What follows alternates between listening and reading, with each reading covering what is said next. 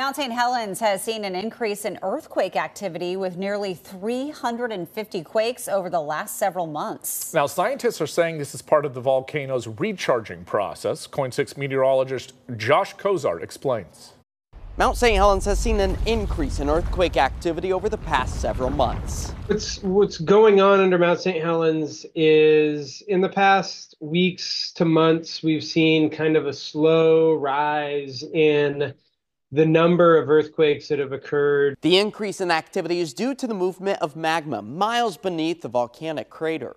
We think that Mount St. Helens doesn't just have magma coming into the deep magma system right before an eruption. It's more of a continuous process. This activity is normal for an active volcano like Mount St. Helens, but does spark the interest of geologists and seismologists. We've got lots of eyes on this volcano, and we're not seeing anything but the earthquakes change.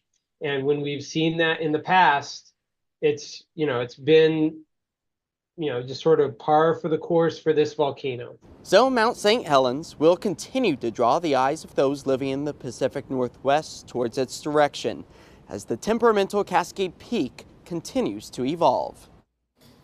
Very interesting. I like how you describe that temperamental. Yes. Yes. It is. It's Yes. like It the is. feistiest one up there. Mm-hmm. It almost seems like every three or four months something new is happening there. But Right. uh, of course, all of the scientists I spoke to today assured that it's not going to be erupting Right. anytime Sure. soon. That's good to know. Yes, Yes. yes, Yeah. Mm-hmm. good news there. And you know, a lot of the snow on Mount St. Helens melting now because of the sunshine and warmer temperatures. As we take a live look from the Ridgefield area, our A A camera showing the eclipsed peak of Mount St. Helens, or once was a peak.